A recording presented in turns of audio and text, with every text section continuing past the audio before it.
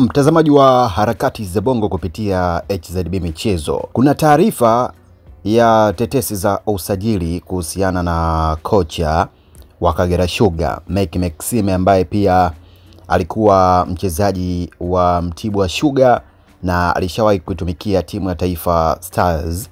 Na hivi karibuni kulikuwa kuna tetesi nyingi kuhusiana na yeye kujiunga na klabu ya Yanga, na taarifa hizo hazikukamilika, lakini watu wengi walikuwa wanajiuliza uh, Meck Maxime mbona hajawahi kuthibitisha kuhusiana na usajili wake wa kutakiwa na klabu ya Yanga. Sasa kocha mkuu wa Kagera Sugar Meck Maxime ameweza kufichua kuwa anao mkataba na Yanga lakini bado hajasaini anamaanisha kwamba anatembea nao mfukoni, na Maxime amebainisha kuwa alifanya mazungumzo na uongozi wa Yanga mwishoni mwa mwaka jana, lakini kuna baadhi ya vipengele havikuwa vimewekwa sawa, hivyo bado hajasaini mkataba huo na wala kurudisha. Lakini nahodha huyo wa zamani wa timu ya taifa amesema hao ni shida kuwa kocha msaidizi Yanga kama mambo yote yatawekwa sawa. Anasema kwamba mimi kuwa kocha msaidizi na wala sio kikubwa maslahi na ndio jambo kubwa na zuri kwangu, naangalia ninachopata Kagera na wanachonipa Yanga.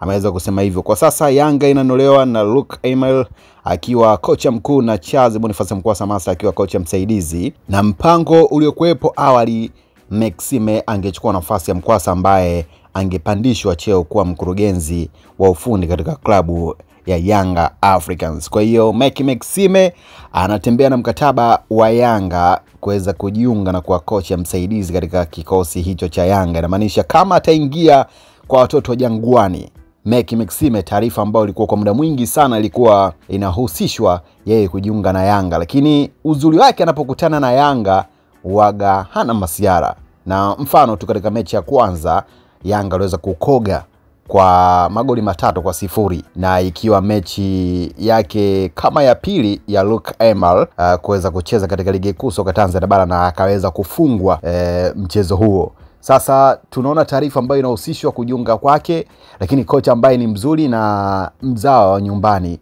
wa Tanzania, anamaanisha amesema kwamba akienda pale yeye hataangalia kwamba anakuwa kocha mkuu au msaidizi anachokiona kwake yeye ni kama fursa ya kuweza kuipata kwenda kufundisha klabu ya Yanga na kuweza kuwa kocha mkubwa hapo baadaye, ikiwa kocha kama Charles Boniface Mkwasa Master ameweza kumfundisha Mike Maxime na yeye amefurahia nafasi kama hiyo ambayo amepata katika klabu ya Yanga. Tetesi za usajili ndo hizo kwa Mike Maxime kujiunga na klabu ya Yanga. Kama ataingia pale Charles Boniface Mkwasa Master ambaye alimfundisha Mike Maxime, basi ataiachia nafasi hiyo. Usisahau kusubscribe YouTube channel Harakati za Bongo kupata info zote za michezo. Jina langu naitwa Mani Limbo, golikipa bonge zaidi Tanzania nzima. Asante.